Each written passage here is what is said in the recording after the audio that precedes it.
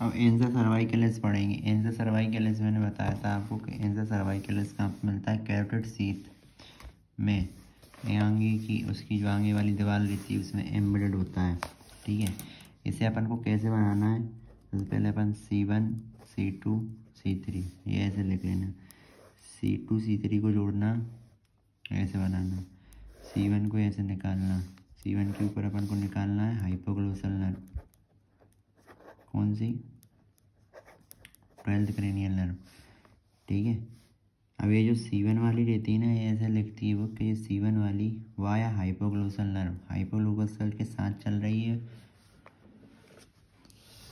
via hypoglossal nerve hypoglossal nerve से होते हुए सप्लाई करेगी कौन कौन जीटी हमारे कॉलेज में जीटी बहुत लगती है। बाल बाल लोग घर बच जाते हैं। तो जीनियो आयोड और थायरो आयोड को। कौन कौन को? जीनियो आयोड और थायरोइड को सप्लाई करती है। तो ये ट्रिक होगा कि जीटी से याद कर सकते हैं कि C one fibre that join with join होते हैं। सी वन वाले हाइपोग्लोसल से ज्वाइन होते हैं। That join with hypoglossal nerve which in turn convey the convey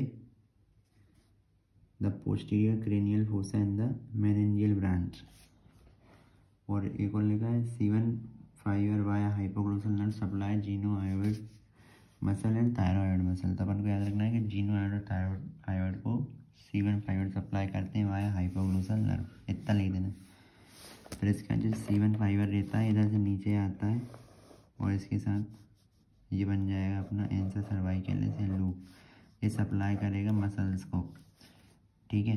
कौन कौन सी मसल्स को सप्लाई करेगा? तो देखो, एक हाइब्रिड बोन होती है एक स्टर्नम होती है।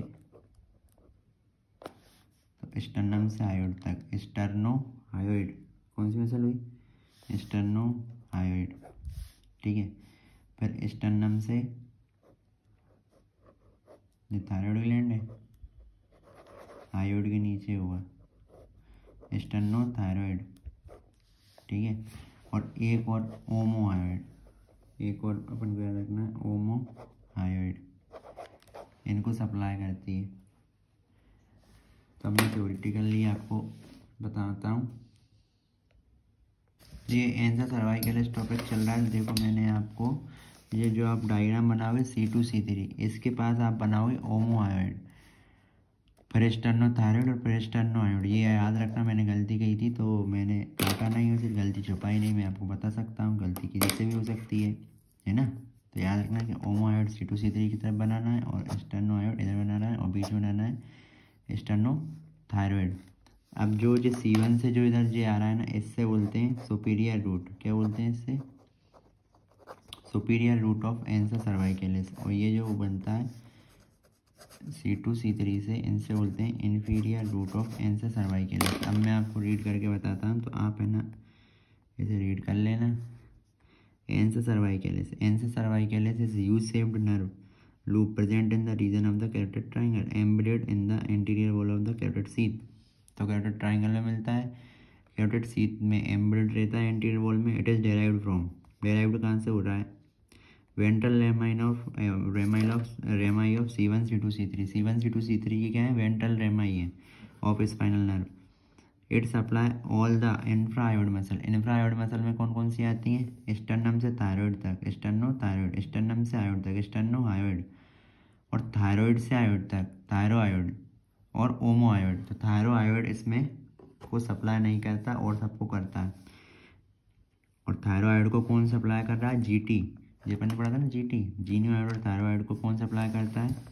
C one fibre from hypoglossal nerve इसके बाद roots ansa cervicalis as following to roots superior root या फिर descendens hypoglossi is formed by the descending branch of hypoglossal nerve carrying C one तो मैंने आपको बताया कि सी वन वाला हाइपोग्लोसल से मिल जाता है।